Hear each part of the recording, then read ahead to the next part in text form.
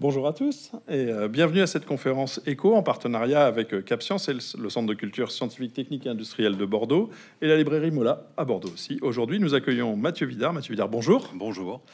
Alors, comme c'est l'usage dans notre cycle de conférences éco, afin de mieux vous connaître, nous vous avons proposé un petit portrait chinois basé sur les quatre lettres de notre cycle de conférences. Si je vous dis E comme événement, quel est l'événement qui a marqué votre engagement? Alors, je dirais euh, l'engagement, en tout cas dans le domaine de l'écologie, ça, ça me renvoie aux marches pour le climat en 2019, qui ont été vraiment pour moi les. les- c'est aussi des moments où je suis descendu dans la rue pour, euh, pour manifester, chose que je ne faisais pas vraiment auparavant. Donc, oui, c'est un moment qui m'a marqué. Ouais. Si je vous dis C comme croyance, quelle est la croyance ou l'idée reçue qui vous désespère?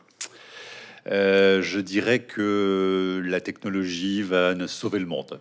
Voilà. Ça vous désespère ça me désespère un petit peu. Je pense qu'il y a- d'autres moyens d'arriver à, à sauvegarder notre planète, par exemple. H comme humain, quelle est la femme ou l'homme qui vous inspire le plus?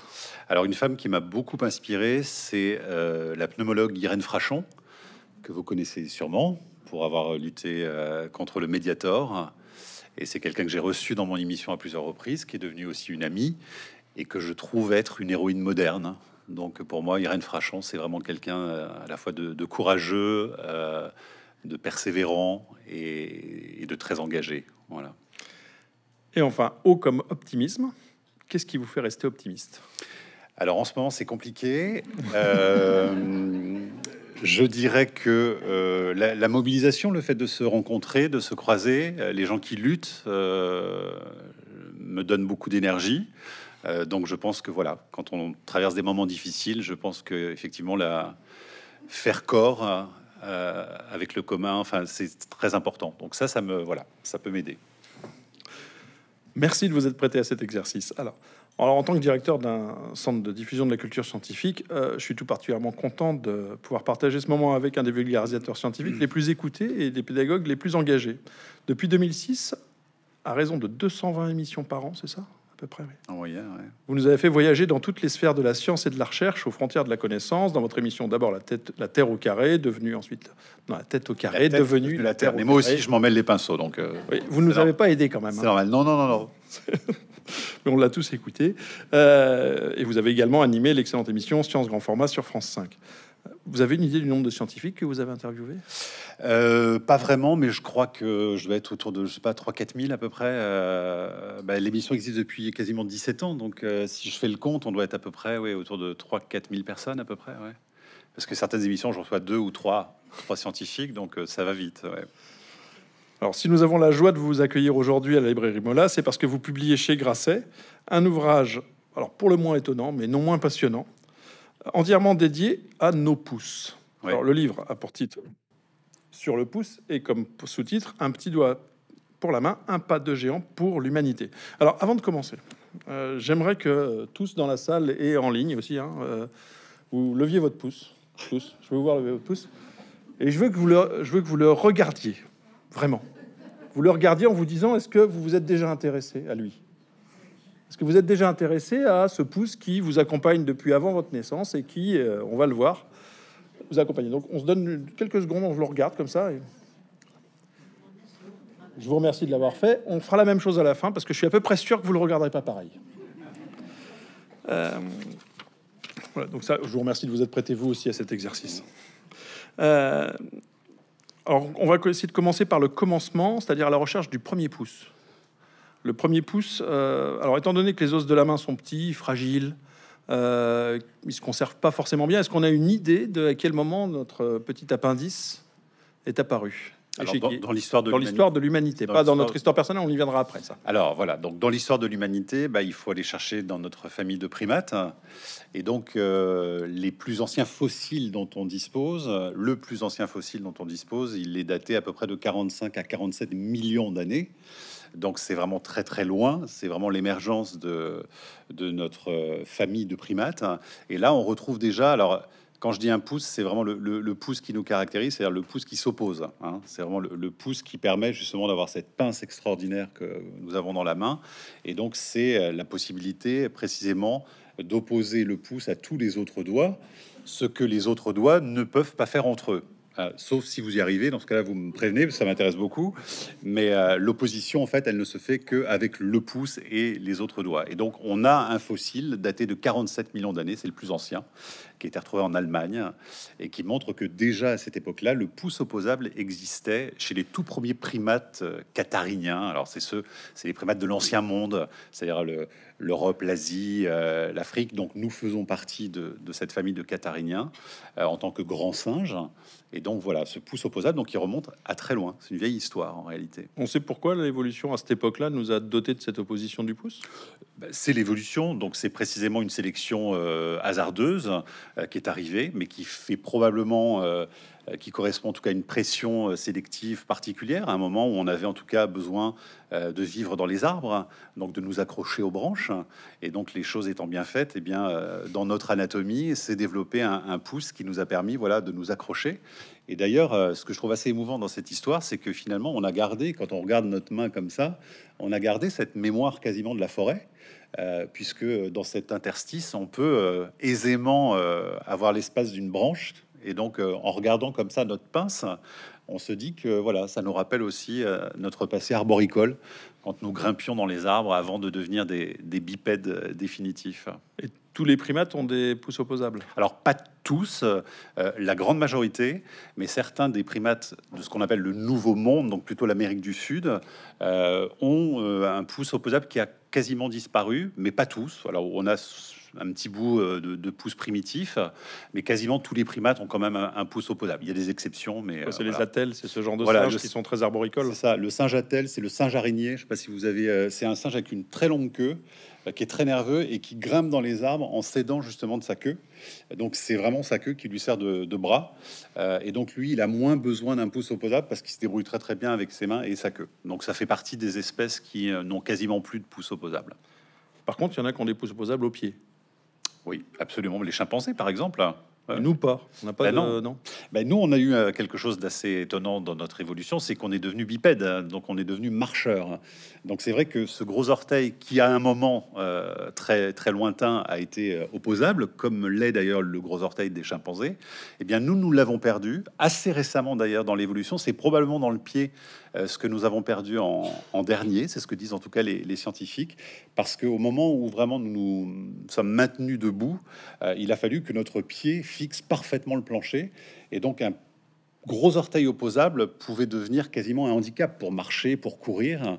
Et donc euh, l'évolution, eh bien, a, nettoyé cela, si je puis dire, euh, en nous faisant un pied où le, gros orteil n'est plus opposable. Mais chez le chimpanzé, le gorille, vous avez encore ça, et il s'en sert vraiment aussi comme d'une pince. Hein. Les, pieds ont une dextérité euh, assez épatante.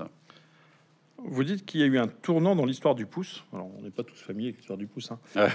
il y a 2 millions d'années, qu'est-ce qui s'est passé pour l'histoire du pouce? Alors, il y a 2 millions d'années, les, les, chercheurs ont observé que dans notre genre Homo, donc nous sommes Homo sapiens, mais les tout premiers du genre Homo étaient euh, les Homo habilis, euh, donc ceux qui avaient l'habilité euh, à fabriquer des, objets. Donc il y a 2 millions, 2,5 millions d'années. Et donc il y a des chercheurs qui ont fait des travaux pour essayer de comparer euh, un muscle, euh, le muscle opponens, qui est très, euh, très important justement dans notre dextérité, dans le fait que notre pouce puisse avoir une, une rotation très, très facile. Et donc, ils l'ont comparé avec le muscle. Alors, les muscles évidemment disparaissent hein, au fil de l'évolution, donc ça a été ça a été modélisé pour essayer de voir comment ça se passait. Et donc ils l'ont comparé avec d'autres espèces de, de, primates et ils se sont aperçus que chez Homo, en tout cas, il y a eu un renforcement de ce muscle très notable à partir de 2,5 millions d'années, ce qui n'est pas le cas chez les autres espèces, hein, et que ça nous a probablement donné un avantage aussi pour être euh, des fabricants d'outils très performants, même si. Euh, des hominidés ont fabriqué des outils avant le genre Homo, il y a 3 millions d'années. Mais en tout cas, il y a 2,5 millions d'années, il y a quelque chose qui se passe et qui fait que du coup, notre pince devient extrêmement précise, euh, extrêmement habile. Et ça, ça nous distingue aussi. C'est un, nouveau passage, en tout cas, pour notre genre, notre famille Homo, euh, dans euh, la dextérité, dans la capacité vraiment de saisir les choses avec force et précision. Et ça, ça n'appartient qu'à notre genre à nous. Sapiens, sapiens. Homo. Homo, homo habilis jusqu'à nous aujourd'hui, sapiens, sapiens. Voilà. Alors, du coup, ça a l'air super d'avoir des pouces opposables. Alors, si j'ai bien compris, il n'y a pas que les primates qui ont des pouces opposables, les caméléons ont des pouces opposables, les corvidés ont des pouces opposables. Alors pourquoi il y a la majorité d'espèces n'en ont pas, alors que ça a l'air quand même d'être un avantage compétitif. Bah parce qu'ils ont d'autres, ils ont d'autres avantages hein, euh, qu'on n'a pas chez les oiseaux. Vous avez les ailes, par exemple, qui sont quand même très pratiques pour, euh, pratique pour, pour, se déplacer. Euh, donc nous, on a vraiment bénéficié de ça en temps encore, je vous le disais, en tant qu'espèce arboricole au départ, hein, qui avait vraiment besoin. D'ailleurs, il y a eu un, quelque chose d'assez fondamental euh, chez les, premiers primates, c'est qu'au départ, euh, on avait des griffes chez les primates euh, qui se sont transformées en ongles. Et là aussi, ça a été une évolution majeure parce que ça nous a permis également, encore une fois, de nous agripper aux branches de façon beaucoup plus confortable, puisque la largeur euh, de, l'ongle et du pouce nous a permis encore une fois de, tenir ces branches euh, beaucoup mieux qu'avec les ongles. Et donc ça a été aussi une évolution euh, chez les primates. Donc on a vu vraiment le, doigt se transformer. On a pu aussi observer très tôt chez les primates, enfin dès le départ d'ailleurs, que nous n'avions que deux phalanges au pouce par rapport à tous les autres doigts qui comprennent trois phalanges. Et donc toutes ces différences, en fait, ensuite avec l'arrivée du pouce réellement opposable, ont marqué euh, l'entrée des primates dans quelque chose qui nous a distingué des autres espèces animales. Mais chacun, au fond, a ses avantages et ses inconvénients, et donc euh, l'évolution, en tout cas, nous a doté de cela. Alors, je reviens sur Homo habilis, il y a 2 millions d'années, très bien, on a compris, mais vous dites même que le pouce a eu son rôle à jouer dans, non pas l'affrontement, mais la coexistence entre Néandertal et Sapiens sapiens. Alors ça, ça fait partie pour le mettre au conditionnel, mais j'ai trouvé l'histoire tellement belle que je voulais la partager. Alors évidemment, les scientifiques, ils aiment bien comparer. Donc ils se disent, on va comparer le pouce d'Homo sapiens, donc notre espèce, avec le pouce de Néandertal euh, qui nous a précédé, mais que nous avons quand même croisé pendant euh, quelques euh, dizaines de milliers d'années. Et donc, puisqu'on a des fossiles de Néandertal, et puis évidemment d'Homo sapiens, ils sont allés voir le pouce pour voir ce que ça donnait. Et ils se sont rendus compte, en fait, que chez Néandertal, il y a une force euh, qui est assez notable par rapport à, Homo sapiens, une, capacité de tenir avec force les objets, mais il y moins de précision. C'est-à-dire que euh, le rapport entre le pouce et l'index n'est pas aussi précis que le pouce de notre espèce Homo sapiens. Et peut-être que cette différence, je dis bien peut-être, nous aurait permis, nous, en tant qu'Homo sapiens, par exemple, de fabriquer des outils, voire de fabriquer des armes et que dans le rapport et dans la cohabitation entre Néandertal et Homo sapiens, il est possible que cet avantage lié au pouce nous ait permis donc de nous doter euh, d'outils pour nous défendre peut-être et euh, gagner peut-être sur, euh, sur Néandertal, même si il y a d'autres facteurs très très importants, hein, comme des facteurs de, environnementaux, des facteurs climatiques, qui expliquent aussi peut-être que euh, les Néandertaliens aient disparu. Mais en tout cas, ça fait partie des hypothèses et, des travaux euh, que les scientifiques donc essayent d'explorer pour voir ce qui nous distingue encore de, nos cousins. Je trouve ça rassurant de savoir que dans notre histoire, la finesse gagne quelquefois sur la force. Eh oui, mais nous on a les deux en plus, on a la force et la finesse. Et donc on reste sur cette même époque et euh, c'est la première époque, enfin c'est l'époque où on commence évidemment à avoir les premières représentations du pouce en représentation de la main dans les grottes ornées, dans l'art paléolithique. Qu'est-ce que ça nous apprend sur la perception ou la symbolique de notre pouce à cette époque-là? Est-ce que ça nous dit quelque chose? Déjà, il faut parler de la main, parce que euh, la main représentée sur les, parois des grottes, c'est quelque chose d'assez stupéfiant, parce que dans toutes les grottes du monde, quels que soient les pays et quelles que soient même les époques, depuis euh, les représentations les plus anciennes, on peut partir à, 40 000 ans dans les, dans les grottes, par exemple, indonésiennes, euh, jusqu'à la grotte Chauvet, Lascaux, 30 000, 20 000 ans, et puis des grottes beaucoup plus récentes, comme en Australie, où on a encore, chez les aborigènes, par exemple, des représentations, ben, on voit que la main, c'est toujours euh, le motif qui revient, quelles que soient les cultures, quelles que soient les époques. Donc ça dit quand même quelque chose de très particulier euh, de ce que nous sommes en tant que, alors là pour le coup, euh, Homo sapiens. Et c'est vrai qu'il y a certaines grottes, par exemple en Argentine, j'évoque une, une grotte qui, qui, a plus de 800 représentations de mains posées donc sur, sur les parois, donc ce qui est assez phénoménal. il y a une grotte qui s'appelle Gargas en Haute-Garonne, je sais pas, peut-être que vous la connaissez. il y a aussi énormément de mains qui sont représentées. Et à Gargas, il y a quelque chose d'assez stupéfiant, c'est que euh, on trouve des mains qui sont mutilées. C'est-à-dire qu'on a l'habitude de voir la main comme ça sur les parois des grottes, mais à Gargas, vous avez euh, des mains où les doigts sont coupés, sauf le pouce. Le pouce, lui, est toujours représenté. Donc évidemment, les chercheurs ils se sont dit mais pourquoi est-ce que euh, dans cette grotte on a représenté euh, des mains mutilées comme ça? Alors il y a plusieurs hypothèses là aussi qui sont évoquées. Alors le froid, par exemple, qui aurait permis, enfin qui aurait permis, qui aurait entraîné en tout cas la perte, la perte des doigts avec des, des gelures. certaines maladies comme la comme la peste par exemple ou la lèpre, la lèpre euh, qui, euh, qui fait disparaître en fait les doigts sauf le pouce. ça, je ne le savais pas, mais je l'ai ah dans, la lettre. Euh, dans la lettre, les doigts disparaissent, mais le pouce reste toujours. Donc ça, c'est assez étonnant. ils imaginent aussi peut-être que ça peut être une façon de représenter des actes de chasse. Donc on représente aussi sur le sur la paroi rocheuse ce qu'on veut dire, par exemple à l'extérieur quand on chasse avec euh, ses camarades. Donc ça peut être aussi un signe de reconnaissance. Donc évidemment, tout ça, ce sont des hypothèses, on n'aura probablement jamais la réponse. Mais en tout cas, il y a des grottes comme ça qui représentent la main mutilée. Et là encore, le pouce est toujours le seul à être représenté.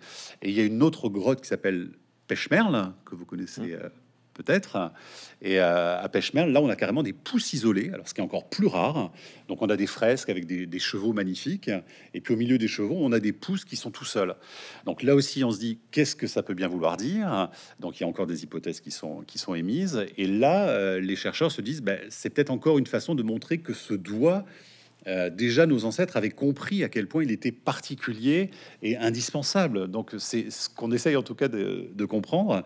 Mais c'est assez troublant parce qu'on voit encore que le pouce a un statut totalement à part et que dans les grottes de nos ancêtres préhistoriques, il y avait déjà cette singularité qui était euh, signifiée par euh, les premiers artistes de l'époque.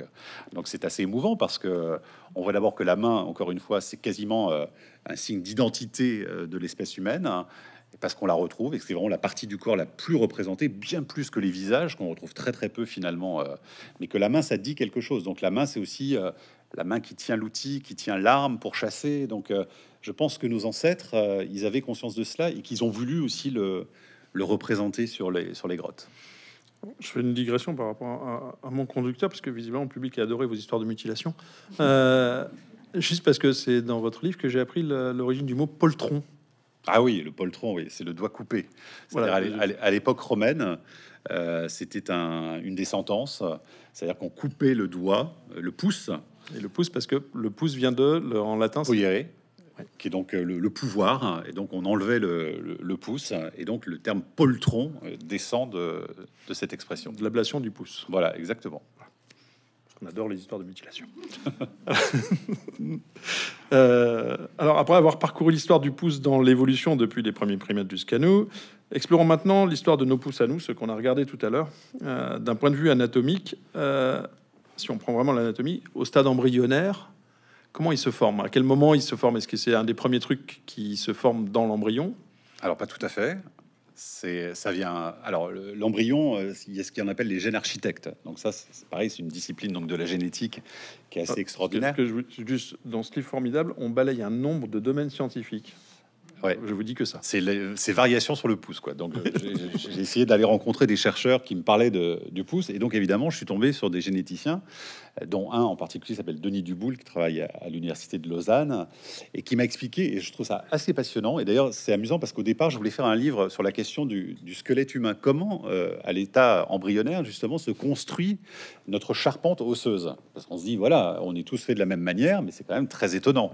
Et donc, tout ça, ça se passe dans des stades très, très précoces euh, de l'embryon et donc avec des gènes, ce qu'on appelle des gènes architectes, qui portent très bien leur nom, puisque justement c'est eux qui euh, fabrique la charpente de notre corps humain. Et tout ça, ça se passe assez rapidement, vraiment au premier stade, entre la troisième et la sixième semaine justement de gestation. C'est d'ailleurs pour ça qu'à ce moment-là, on, demande aux, mères de faire très attention à ce qu'elles mangent ou, euh, à ce qu'elles fument, euh, ce qu'on appelle la gastrulation, parce que c'est à ce moment-là que la charpente se fait, et c'est un moment très critique, très particulier, et euh, entre 3 et 6 semaines, il faut faire en sorte vraiment que les choses se passent bien. Donc ces jeunes architectes, qui sont pas très nombreux, ils sont moins de 40, ils ont la capacité en fait de produire des protéines, et ces protéines ensuite vont agir comme une sorte d'interrupteur on-off en disant ben là, t'envoies des gènes pour faire un doigt, là, t'envoies des gènes pour faire un, tronc, un pied, un bras. Donc en fait, les choses sont pas mal faites parce que la, charpente osseuse, en fait, elle commence vraiment euh, à la tête. Et puis ensuite, euh, vraiment comme un bâtiment qui est en train de se construire, sauf que là c'est le contraire parce qu'on part de la tête jusqu'au pied, eh bien se mettent en place précisément euh, ces gènes qui fabriquent notre charpente osseuse. Donc on commence par le tronc, par la tête, et puis ensuite à ce niveau-là, les gènes commandent une autre direction pour aller vraiment sur le côté latéral. Et donc vous avez les bras qui se construisent, et puis ensuite la main et les doigts. Donc finalement, euh, votre avant-bras, il est plus vieux que votre main, puisque elle est, c'est fabriqué de façon plus récente dans, dans, la charpente. Et puis ensuite, voilà, le corps continue. Donc on a vraiment le centre du corps, les jambes et les pieds. Donc ça, c'est vraiment euh, des étapes très particulières.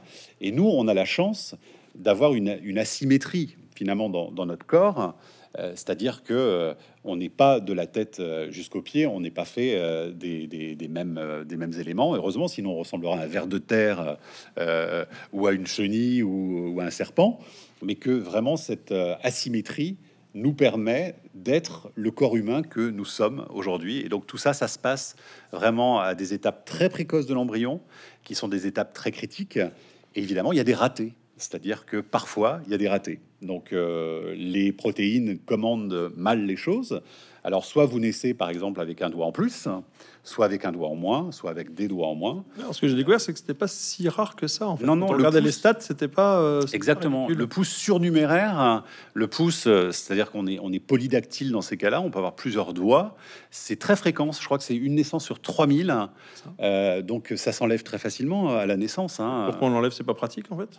Bah, le fait d'avoir un sixième doigt, c'est surtout. Il est commandé ou pas? Ah ben, il, pourrait fonctionner. Pourrait fonctionner. Il pourrait fonctionner. D'ailleurs, je donne un exemple d'une famille où une maman et son fils ont euh, six doigts à chaque main. Et ils ont décidé de ne pas se faire enlever leurs doigts. Et les scientifiques ont observé que ça fonctionne très très bien, que tout est parfaitement câblé et que c'est même un avantage évolutif pour ces personnes qui utilisent leur sixième doigt, donc qui se trouve entre l'index et le pouce en l'occurrence, avec beaucoup de dextérité et ça fonctionne très bien. Donc c'est une bizarrerie un petit peu de la nature, mais pourquoi pas? Ça fonctionne. Uderzo, on avait un, doigt surnuméraire. Alors, Uderzo l'avait à la naissance. Il s'est fait enlever après, euh, très, ah. très rapidement. Euh, mais il avait un, doigt surnuméraire à chaque main. Et euh, il se l'est fait enlever comme beaucoup de gens le font justement. Enfin, ses parents l'ont fait pour lui quand il était bébé puisque c'est euh, quelque chose qui se fait vraiment euh, sans aucune complication. Donc euh, voilà, et Hemingway avait des chats polydactyles. Alors il y a, d'autres histoires évidemment dans la nature, je ne sais pas si vous connaissez ça, mais Hemingway avait en Floride, là où il habitait, des chats qui étaient réputés pour avoir beaucoup plus de, doigts aux pattes les, que les autres. Et donc, on les a appelés les chats Hemingway, euh, en hommage à cette curiosité. il y a encore des races, d'ailleurs, aujourd'hui, qui sont dotées. Euh, alors, normalement, un chat, ça a cinq doigts euh, sur les pattes avant et quatre doigts sur les pattes arrière. Et il y en a qui ont 18, 20 doigts en tout. Et donc, on les appelle les chats Hemingway parce qu'ils voilà, ils sont polydactyles. Mais on peut trouver cette particularité aussi chez les humains. Alors, peut-être pas avec 20 doigts. J'ai pas eu vent de cela, mais en tout cas, avec un ou deux doigts en plus, oui. Néanmoins, si tout se passe bien, on n'a qu'un pouce à chaque main. Voilà. Quand on est un fœtus, alors on a tous vu ces photos sur le, fœtus qui suce son pouce. Alors, mais pourquoi il fait ça? Ah ah. Ah, Je veux dire, il y a un moment donné, il n'est pas obligé. Alors, il n'est pas obligé, mais il doit certainement y trouver du plaisir d'abord. Euh, c'est vrai que c'est assez marquant quand on voit les images d'échographie. Alors d'abord, c'est compliqué parce qu'une échographie, bah, ça dure pas très longtemps. Hein. donc, euh, il faut tomber juste à ce moment-là sur un, sur un fœtus qui est en train de sucer son pouce. Mais les images, elles existent et elles sont très émouvantes parce qu'évidemment, elles nous représentent euh, le futur petit être humain en train de sucer son pouce. Mais on pourrait le voir aussi sucer son gros orteil parce qu'évidemment ils sont, ils sont, ils sont très souples. ou, si vous voulez, ou le cordon, ou le cordon ombilical, parce que le, le, petit, euh, le petit fœtus, enfin le fœtus, euh, suce tout ce qui passe à, portée de main. Donc évidemment, c'est son doigt, son orteil ou le, cordon de la maman, enfin le cordon ombilical. Il y a quelque chose qui se passe à ce moment-là qui est très important parce que on peut imaginer en fait que il est déjà dans une sorte euh, de préparation euh, à la succion qui suivra quand il va naître. C'est-à-dire que pour un, bébé, euh, sucer un biberon ou le sein de sa maman, c'est un effort considérable quand il va naître. Ça mobilise une quarantaine de muscles de la bouche. Et donc, on peut imaginer qu'il y ait déjà une sorte de moment préparatoire, en fait, dès le stade intra-utérin. Et que donc, le fait de sucer le pouce, ça va permettre à, ce fœtus une fois qu'il deviendra justement un, petit homme ou une petite fille, euh, d'avoir déjà préparé les choses. Il y a autre chose qu'on sait, c'est que euh, en suçant notre pouce, on sécrète des endorphines, qui sont euh, des hormones pour calmer du stress, par exemple, des hormones de l'apaisement, et que peut-être que déjà dans le ventre de la maman, le fœtus éprouve un certain plaisir à mettre son doigt dans sa bouche. Et puis il y a autre chose qui est quand même assez troublant, je trouve, c'est que lorsque vous observez votre pouce, eh bien, euh, l'anatomie est quand même très très bien faite parce que vous voyez cette partie extrêmement plate ici et cette partie bombée euh, de l'autre côté, ben, elle s'intègre parfaitement à la bouche hein, avec le voile du palais qui lui aussi est incurvé et puis le côté plat qui se pose sur la langue. Et ça c'est formidable parce qu'il n'y a aucun autre doigt euh, pareil qui possède aussi cette anatomie si parfaite pour s'intégrer à la bouche. Et donc là aussi il y a un lien très fort entre notre doigt, la bouche et tout ça, à la naissance, évidemment, ça va avoir un rôle extrêmement important pour, pour la succion euh, qui va suivre euh, juste après la naissance. Mais du coup, si c'est pour apprendre à sucer, les autres mammifères ont le même problème, mais ils ont des sabots. Ça, des sabots pour sucer? Mais c'est du coup ils font comment? Dans le ventre ah de bah, leur mère, les vaches et autres. Oui, oui, oui. Mais je pense qu'il doit y avoir déjà une succion euh, probable. Alors j'ai pas étudié la question, hein, mais on voit quand même que tous les que tous les mammifères euh, placentaires euh, peut-être quelque chose, peut-être quelque chose ensuite. Donc probablement que c'est très une très bonne idée. Je vais me pencher sur la question. Ça fera l'objet d'un autre livre, peut-être. Le sabot, le prochain. sur le sabot, voilà. Pourquoi pas Sur l'ongle. Une fois né, donc bébé continue à sucer son pouce. Alors on entend tout et son contraire. Hein. Quand on est jeune parent, je l'ai été il y a quelques années, euh, sur euh, il faut laisser, il faut pas laisser. À partir de quel âge on doit demander d'arrêter de sucer son pouce? Est-ce que c'est bien Est-ce que c'est pas bien? Qu'est-ce qu'en disent les chercheurs là-dessus ou les, où en sont les recherches sur le Alors en gros, euh, ils nous disent qu'il faut le plus possible inciter les enfants à arrêter de sucer le pouce vers 2-3 ans. Parce qu'à avant, avant open bar. Avant, euh, oui, puis ça fait partie d'une nécessité euh, physiologique, euh, biologique même. Enfin, c'est quelque chose qu'il ne faut pas négliger. Et l'aspect apaisement est extrêmement important. Puis je pense que les parents sont ravis quand leurs enfants peuvent aussi sucer leur pouce parce que c'est aussi un moment où ils sont plus calmes. Donc il faut faut pas le négliger. Mais vers 2-3 ans, c'est pas mal, 2, 3, 4 ans maximum. Parce qu'en fait, à, partir de l'âge de 2 ans, ben, il se passe des choses importantes pour, pour l'enfant qui va apprendre à manger autrement, à parler, à marcher. donc c'est des moments où si la bouche est mobilisée euh, par un pouce, bah, c'est quand même un petit peu embêtant. Et sur la mastication en particulier, euh, une mâchoire musclée, euh, une, façon de, mastiquer des aliments, bah, ça doit se préparer aussi très en amont.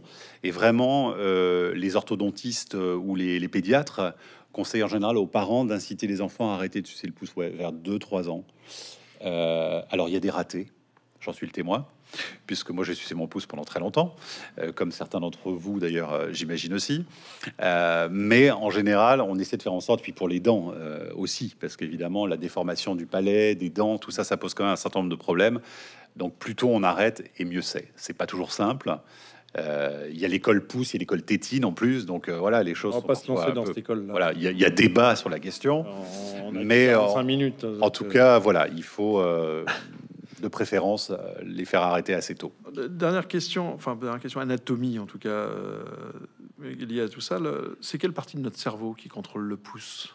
Alors, il y, a une partie dédiée? Comment ça se passe? Alors, Parce Il marche pas pareil que les autres. Non, alors il n'y a pas une zone du pouce hein, dans, le cerveau, mais en tout cas, il y a une, identification. Euh, c'est-à-dire que quand on, va dans le cerveau, quand on fait des opérations, ce qui a été fait d'ailleurs dès les années 30 sur l'épilepsie, par exemple, qu'on on arrive à ouvrir le cerveau pour essayer de comprendre comment dans notre cerveau nos membres répondent, c'est-à-dire à quoi correspond la carte du cerveau par rapport à, tout le reste du corps, eh bien, on trouve euh, des, membres qui sont surreprésentés par rapport à d'autres. Et le pouce en fait partie.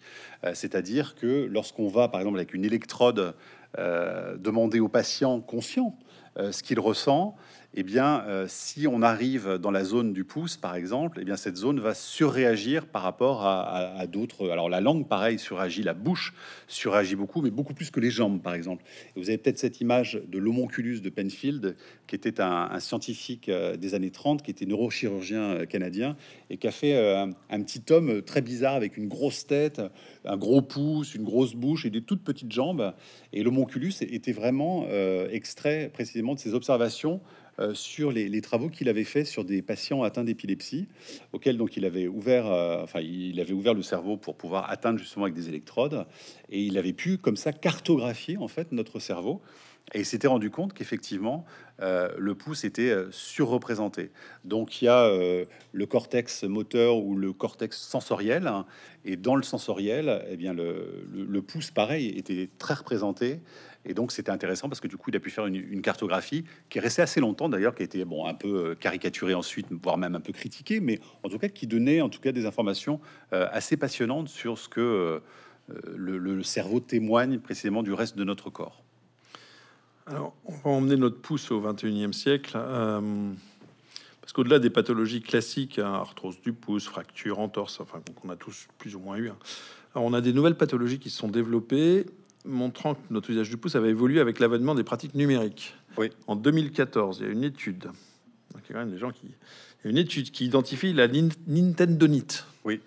Euh, comme pathologie il y a l'usage intensif de la console de jeu Nintendo. Oui. Ça marche aussi avec les autres consoles. Euh, il y a des pathologies du texto. Oui. Il y a des pathologies du scroller. Oui. Euh, alors, qu'est-ce que ça nous dit du rôle et de l'importance de ce pouce qui tout d'un coup se, se voit exposé à des nouvelles pathologies? Eh ben, c'est-à-dire que quand on l'utilise beaucoup, quand on le sursollicite, alors la console Nintendo, par exemple, euh, j'imagine que certains d'entre vous euh, connaissent ça très très bien. Si vous passez 8 euh, heures par jour à y jouer, vous allez avoir des effets sur les doigts qui sont particulièrement sollicités, dont le pouce, par exemple. Et il y a vraiment des pathologies hein, de, fractures, de tendinites très nombreuses, d'arthrose. Et donc ça, les, chercheurs ont fait la, la, compilation en fait des études scientifiques qui existaient à ce sujet. Et il y a vraiment des choses, voire même très très graves, hein, parce qu'il y a des gens qui ne, ne voient absolument pas leurs limites et qui sont capable de se, de se faire une vraie fracture en fait du pouce euh, parce que voilà, ils jouent de façon totalement compulsive. Alors sur les textos, c'est pareil. Vous avez des gens qui, qui, passent leur journée, on dirait, à envoyer des textos. Mais là, c'est pareil. C'est une sursollicitation du pouce qui n'a pas été habitué à ça quand même dans l'évolution jusqu'à maintenant. Et donc, vous avez des gens qui peuvent passer 5, 6, 7 heures par jour à faire des kilomètres avec leur pouce pour envoyer des messages. Et donc là aussi, ça engendre euh, des pathologies particulières font des kilomètres avec leur pouce. Ah oui, oui, ils peuvent faire des kilomètres avec leur pouce. Euh, les chercheurs ont, ont calculé, chez vous. Hein. Les chercheurs ont calculé que si vous passez 40 minutes par jour, au bout d'un an, c'est l'équivalent d'un marathon. Donc vous avez passé 40 kilomètres en fait à, envoyer des messages. On est tous marathoniens du coup, ça Donc on est tous marathoniens sans le savoir. Donc ça c'est une très très bonne nouvelle, effectivement. Donc vous avez tout un tas de nouvelles pathologies qui sont liées à ça et avec des recommandations vraiment des, médecins. Et au départ, euh, le travail qui a été fait sur la Nintendo, en fait, c'était de savoir si c'était dangereux d'en offrir à Noël ou pas. Donc les chercheurs avaient compilé la littérature scientifique, et puis la conclusion était que avec un usage raisonnable de, des consoles de jeux, on pouvait y jouer sans risquer, voilà, des fractures ou des choses euh, assez désagréables. Donc tout est effectivement dans l'équilibre, mais en tout cas, c'est vrai qu'il y a des vrais risques. Vous avez parlé d'une génération qui euh, textote au-delà du raisonnable vous appelez même la tribu du pouce. Oui, euh, ça c'est les premiers en fait, les, premiers qui ont commencé à taper les, textos, c'est les Japonais, parce qu'ils ont été dotés les premiers des, premiers téléphones portables. Et très rapidement, on a vu que les jeunes étaient très très doués pour le faire et qu'ils allaient extrêmement vite. Donc euh, certains observateurs les ont dénommés euh, la, tribu du pouce. Et puis après, ça s'est étendu au reste du monde. Et puis avec l'avènement des smartphones, ça s'est encore amplifié. Mais ce qui est assez marrant, c'est qu'il y a vraiment une fracture générationnelle entre les, très jeunes, les 10-19 ans, enfin vous l'avez tous vu dans votre famille, entre moi, mes neveux, par exemple, qui, euh, sont dans ces âges-là, et moi aujourd'hui, qui tape lamentablement, euh, parfois même encore avec mon index, euh, il n'y a pas photo, quoi. Donc il y a vraiment des calculs de rapidité qui ont été faits, et la jeune génération, elle est capable de taper énormément de mots à la minute. Je crois que c'est l'ordre de 40 mots en moyenne pour les 10-19 ans, quand les quinquagénaires, par exemple, ou, ou plus, arrivent difficilement à 20-25 mots. Donc euh, on voit que voilà, il y a aussi une différence d'habilité parce que ben, les, plus jeunes sont nés avec ces outils technologiques euh, et ça fait donc toute la différence. C'est un renforcement musculaire ou c'est le cerveau aussi Alors, qui est adapté? Enfin, ça marche dans quel sens Il y a un renforcement musculaire et puis ben, il y a un entraînement en fait qui fait que quand vous naissez avec ces outils-là, vous êtes habitué dès le départ. on voit maintenant même les enfants qui, qui zooment sur les écrans, les bébés euh, vous leur mettez par exemple euh, un, journal papier entre les mains, il y a des enfants qui mm. ont le réflexe de, de pinch zoomer sur le, sur le journal. Quoi. Ma, fille, ma fille l'a fait. Ouais. Voilà. Donc là, on se dit qu'on est passé voilà, dans une autre génération. Elle, elle m'a dit hier, parce que je lui disais, je, vais interviewer Mathieu Vidard sur le pouce, elle me dit Ah, tu lui dis surtout pas, mais moi j'ai liké avec mon pouce un prospectus. Voilà. Et tout ça, c'est vrai. Double cliquer avec son pouce sur un prospectus. Exactement. Ou alors, voilà, le fait de, vouloir élargir les images sur un journal papier, ça, c'est fascinant. Ben voilà, ben ça montre qu'on n'est pas né avec les mêmes outils. Et... Mais alors, du coup, jusqu'où ça va aller? Parce qu'à force d'utiliser ce pouce-là, est-ce qu'il va se déformer? On peut se dire, tiens, est-ce qu'on va avoir des pouces énormes, hyper musclés Un pouce mutant. Des Schwarz 10 pouces. Ah, voilà, un gros pouce comme ça. Alors, a priori, non pour plusieurs raisons. Alors, il y a deux raisons principales. La première raison, c'est qu'il y a de nouvelles technologies qui arrivent déjà. C'est-à-dire qu'on utilise beaucoup nos pouces pour euh, taper des textos aujourd'hui, certes, mais vous avez remarqué qu'on on commence déjà aussi à envoyer des messages vocaux à la place des SMS. Donc, la reconnaissance vocale va se développer énormément et risque de remplacer euh, à moyen terme l'usage de nos pouces. Donc, bah, l'évolution n'aura pas le temps de faire son travail, parce que l'évolution, il faut beaucoup, beaucoup de temps. Et si vraiment on imaginait avoir un pouce énorme, euh, voilà, ce serait pas possible. Et puis ensuite, ce serait pas un avantage pour nous dans la dextérité, dans ce qu'on se disait tout à l'heure, c'est-à-dire sur la capacité euh, de tenir un objet avec force, puissance, comme un manche de marteau, par exemple, ou avec précision quand vous avez pas imaginer des petites perles que vous souhaitez saisir avec le, doigt comme ça. Imaginez avoir un énorme pouce, c'est franchement pas un avantage. Donc a priori, l'évolution va pas sélectionner ça. Et donc vous pouvez dormir sur vos deux oreilles, vous n'aurez pas un jour un pouce mutant qui va vous pousser pendant la nuit. Bonne nouvelle. Euh, alors au-delà d'être venu, au-delà, au-delà du fait d'être devenu l'interface privilégiée de nos smartphones, le pouce est également imposé comme un symbole omniprésent d'acquiescement ou de soutien. Oui, le like. Hein. Le fameux like. Ouais, ça c'est Facebook qui a lancé Mais ça. pourquoi on a mis un pouce? Enfin... bah Parce qu'il y aurait pu y avoir d'autres choses. Hein. Il y a eu des cœurs, il y a eu des étoiles, euh, et puis il y a eu le pouce qui a été euh, discuté, et puis euh, tout le monde s'est mis d'accord. Alors c'était vraiment une une, réunion chez Facebook pour savoir ce qu'on allait choisir pour approuver les contenus, parce que c'était très important pour Facebook de pouvoir avoir une trace euh, de partage. Et donc, euh, il y a eu plusieurs euh, possibilités. Alors, il y avait un problème avec le pouce, c'est que dans certaines cultures, en fait, le pouce est l'équivalent d'un doigt d'honneur. donc, évidemment, sur les réseaux sociaux, ça pouvait poser problème. Et puis, finalement, Mark Zuckerberg a quand même cédé là-dessus. Même si avant il y avait eu des cœurs qui avaient été testés, des étoiles, et donc il a, il, a validé le pouce, qui est devenu vraiment un espèce de symbole universel de l'approbation euh, sur les réseaux sociaux et qui était repris par euh, YouTube, par Instagram, enfin tout le monde quasiment a, utilisé le pouce. Pas TikTok qui met des cœurs. Exactement. Ouais. TikTok, les Chinois mettent des cœurs. Absolument. Donc en fait, euh, on arrive un peu au bout de notre entretien parce qu'il est bientôt l'heure, mais du coup, ce pouce levé là a rien à voir avec le pouce des Romains. Je me permets d'aller débunker cette idée parce que ah pourrait se dire le pouce là, on a tous vu ça. C'est ça. Euh, alors, ça n'a rien à voir. Alors, non seulement ça n'a rien à voir, et puis cette histoire de pouce romain dans les arènes, hein, c'est-à-dire qu'on demandait la mort, euh, la mort du, du, de celui qui, qui, qui, avait perdu face au gladiateur, euh, eh bien, c'est une pure invention parce qu'en réalité, ça n'a jamais existé dans les arènes romaines. Et non, non, non, jamais, jamais, jamais. Et vous saurez la suite en lisant mon livre. non, simplement, c'est une invention d'un peintre euh, dont je raconte l'histoire qui s'appelle Jean-Léon euh, Jérôme, que vous connaissez peut-être, qui est un peintre du 19e, qui était un peintre un peu pompier, qui a toujours euh, peint des, grandes scènes comme Napoléon arrivant sur son cheval en Égypte devant la pyramide de Khéops. Il aimait beaucoup les scènes comme ça et il a dessiné une scène de gladiature. On voit justement un gladiateur qui est le, pied posé sur le vaincu et on le voit face à la reine. Donc il y a effectivement l'empereur qui n'a pas d'ailleurs un, rôle très important. Et puis il y a des vestales qui sont représentées, donc les gardiennes du feu.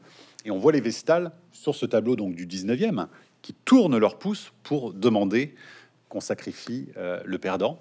Et en fait, euh, Jean-Léon Jérôme a été le premier euh, à faire cette représentation parce qu'il avait mal traduit ou volontairement mal traduit un, un poème antique où on parlait d'un pouce tourné, mais on disait pas dans quel sens d'ailleurs. Et puis le pouce, ça pouvait aussi représenter les autres doigts de la main, parce que sous l'époque romaine, en fait, euh, tous les doigts étaient représentés comme étant un pouce, donc on pouvait parler des doigts euh, sous, la dénomination pouce. Et donc on, peut imaginer que au lieu du pouce, d'abord c'est l'index qui était euh, projeté, et puis dans quel sens le pouce était indiqué, on ne le sait pas. En tout cas, j'ai interviewé un, un, historien qui a vraiment passé en vue toute l'iconographie euh, de la gladiature, donc euh, des arènes romaines, et il n'y a à aucun moment une référence qui est faite au pouce retourné pour demander justement le, sacrifice du perdant. Euh, il y en a un seul autre qui l'a signalé, c'est un Bordelais qui s'appelle Montaigne et qui, dans ses essais, a fait un article sur le pouce en signifiant justement que le pouce était retourné. Et c'est assez drôle parce que vraiment ils n'ont pas été nombreux. Donc Montaigne, pareil, qui se basait sur ce même poème euh, du 5e siècle, et puis ce peintre du 19e qui a donc mal interprété le pouce retourné, mais c'est devenu ensuite une sorte de vérité historique. C'est ça qui est incroyable, c'est qu'à partir de ce tableau, tous les cinéastes, tous les écrivains qui ont parlé euh, de la Rome antique ont représenté le pouce retourné comme étant une vérité absolue. Donc on l'a retrouvé dans Covadis, euh, dans Spartacus, euh, dans Gladiator. Et donc c'est vraiment maintenant, on a l'impression qu'ils ont toujours fait ça. Or, apparemment, ça n'a jamais existé. Voilà. Donc vous n'avez plus besoin d'acheter mon livre parce que je vous ai raconté l'histoire. Non, mais il y en a plein d'autres par contre. Euh, juste pour, euh, on avait fait une exposition à Capian sur les gladiateurs. Je permets de vous dire qu'en fait tout ce que vous savez est à peu près faux. C'est-à-dire qu'ils ne mouraient pas. Il y avait des femmes, ils étaient volontaires, ils étaient très bien payés. Enfin voilà, je vous invite à aller fouiller les gladiateurs. C'est un sujet intéressant de, fake news euh, qu'on s'est mis dans l'inconscient collectif. C'est une fake news, une fake news antique. Une espèce de récit dont on a eu besoin. Tout à fait. Donc c'est, on, on, arrive un peu au terme de notre échange. Alors comme je vous l'avais promis, hein, donc je vais vous demander de re-regardez votre pouce. Faisons-le. Regardons notre pouce. On, lui a quand même découvert une profondeur historique. Euh, il nous accompagne depuis beaucoup plus longtemps qu'on croit. Et euh, bah, je vous demanderai, j'en suis sûr, de le, de lui donner la considération qu'il euh, mérite. Bah, en tout cas, je pense que chez toutes celles et ceux qui ont eu des problèmes de pouce, hein, euh, qui ont eu des accidents de pouce, je pense qu'à ce moment-là, on se rend compte à quel point c'est important quand même. C'est hein. là que les chirurgiens de la main, d'ailleurs, mettent les gros efforts, ils mettent toute la gomme qu'il faut pour. Euh, il y a un doigt qui veulent que les chirurgiens veulent sauver quand il y a un pépin, une amputation, etc. C'est le pouce toujours pour garder justement la pince. Autant vous pouvez vous passer de votre auriculaire, de votre majeur, etc. Mais le pouce, c'est vraiment très problématique. Et tous ceux qui ont eu un pépin de pouce s'en sont aperçus à quel point c'est précieux et à quel point on est handicapé en fait quand on n'a plus l'usage du pouce. Quoi, c'est vraiment très très compliqué de tenir les objets, d'écrire, de manger. Alors, merci. En guise de conclusion et d'ouverture, j'aimerais profiter de votre présence hein, pour vous demander un petit peu quel regard vous portez sur euh, L'apparente incohérence entre d'un côté un monde, on, quitte le pouce, hein, je prends plus le vulgarisateur scientifique et je pense que c'est intéressant d'avoir votre, éclairage euh, dessus. Euh, cette incohérence entre un monde euh, dans lequel les enjeux sociétaux, environnementaux et climatiques sont étroitement, étroitement liés à la science et à la techno, et dans le même temps, un monde où on semble rejeter la démarche scientifique et la science qui peut nous aider à résoudre ces problèmes-là. Où on se, pardon? Ben, dans l'incohérence entre le côté scientifique de l'ensemble des enjeux qu'on a à traiter, notamment climatiques et environnementaux, énergétiques, et le fait que globalement la société, les citoyens rejettent de plus en plus les conclusions et la démarche scientifique qui est censée pouvoir nous aider aussi à euh, comprendre et corriger et nous aider à prendre les, bonnes décisions. Alors, à l'aune de vos 4000 interviews de scientifiques Oui, oui, oui. Bah, c'est quelque chose qui est effectivement assez troublant euh, parce qu'on constate une défiance de plus en plus grande vis-à-vis de la science ces derniers temps et euh, particulièrement depuis le Covid d'ailleurs, qui a été vraiment un moment de passage où la parole scientifique a beaucoup perdu euh, en attention, en écoute, parce que tout le monde s'est mis à s'exprimer euh, sur le, Covid, sur les réseaux sociaux. Et donc, euh, c'est vrai que c'était compliqué. Même certains chercheurs, d'ailleurs, sont sortis de leur zone de compétence pour parler du Covid. Alors, il y a une espèce d'embrouillamini de, à ce moment-là. ce qui est vrai, c'est qu'on voit aujourd'hui, puisqu'on parle d'écologie, qu'il y a des enjeux extrêmement forts, extrêmement importants.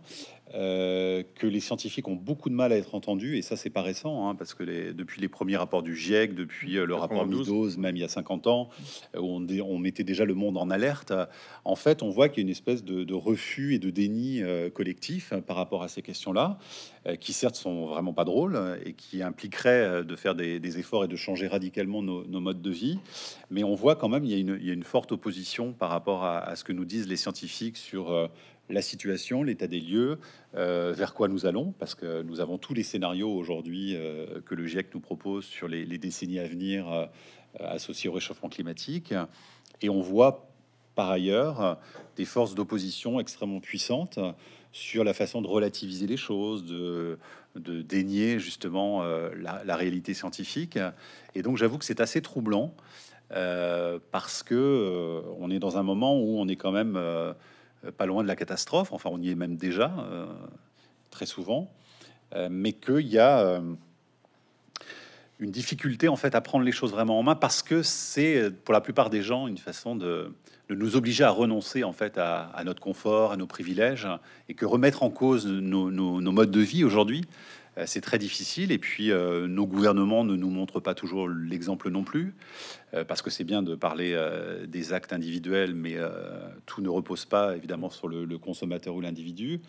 Et on voit que les politiques euh, internationales en matière de, préservation de la biodiversité ou, du climat sont quand même très très molles par rapport aux enjeux aujourd'hui d'un monde qui se réchauffe. Enfin, euh, les feux de forêt qu'on a vus ici en Gironde euh, il y a deux ans ont de quoi quand même nous interpeller. Quoi. Et quelles leçons on en a tiré finalement Qu'est-ce qu'on fait de la forêt, de la forêt landaise est-ce qu'on va choisir de, planter d'autres essences d'arbres pour mieux s'adapter au réchauffement climatique ou est-ce qu'on va continuer dans un modèle On va faire plutôt de la monoculture avec toujours les mêmes essences qui sont donc plus vulnérables aussi au réchauffement?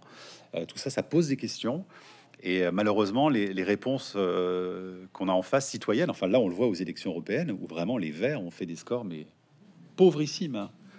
alors qu'il y, y a, cinq ans, ça s'était pas passé comme ça. Donc c'est assez, assez triste au fond, assez désespérant. Mais euh, bah, comme je le disais tout à l'heure dans le portrait chinois, il faut rester mobilisé. En tout cas pour ceux qui croient qu'il y a des enjeux. Alors je sais qu'à Bordeaux, euh, vous râlez beaucoup parce que vous avez un maire écolo et que les, gens rouspètent. Bah, alors certains, en tout cas, moi, le, monsieur qui me conduisait tout à l'heure dans, la voiture, il me disait, me rendez compte, depuis que depuis qu'on a un maire écolo, en fait, on n'a jamais eu autant de pollution et de pics de pollution en ville. Alors bon, est-ce que c'est lié au fait de justement d'avoir plus de réchauffement? Est-ce que c'est lié au réchauffement ou est-ce que c'est lié à des facteurs euh, d'usage de la voiture? Euh, Mais en tout cas, c'est compliqué. Vous voyez, dans une ville comme Bordeaux, euh, c'est compliqué d'essayer de mettre en place des politiques vraiment écologistes. Ça suscite toujours le débat, des frictions et voilà. Donc à l'échelle d'un État, c'est pas facile. À l'échelle d'une planète, encore moins. Mais je pense qu'il faut continuer à à, se mobiliser sur ces questions essentielles parce que on est tous concernés, quelle que soit la, région du monde où on se trouve, par ce qui se passe aujourd'hui. Bah, merci beaucoup, euh, Mathieu Vidard, pour euh, votre euh, cet échange riche, cette rencontre avec nos pouces. Hein, que nous avez permis de découvrir. C'est vrai, j'avais jamais regardé mon pouce. je, rappelle, je rappelle le titre de votre ouvrage Sur le pouce. Euh, que vous pouvez retrouver, qui est chez Grasset, je ne l'ai pas, mentionné, qui est chez Grasset, que vous pouvez retrouver à la librairie Mola, sur mola.com, et après euh, l'échange en dédicace au fond de la salle. Euh, Mathieu Vidard, je vous remercie. Merci à vous. Merci beaucoup.